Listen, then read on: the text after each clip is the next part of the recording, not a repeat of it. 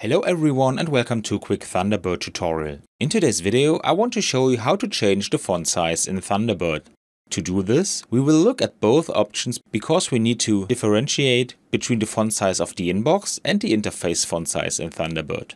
First we open Thunderbird and take care of the interface font size. All we have to do is click on the three bars in the top right corner and select the font size option. Clicking on the plus increases the font size Clicking on the minus decreases the font size. So let's make the whole thing a little bit bigger. However, we will change the font size of the mails in a different place. To do this, we click on the three bars at the top right again and go to Settings. Here we stay in the General area, scroll down a little bit until we reach Fonts and Colors. And that's where we can find the font size. In this example, we will change the font size from 17 to 30. The change is active immediately and does not need to be saved.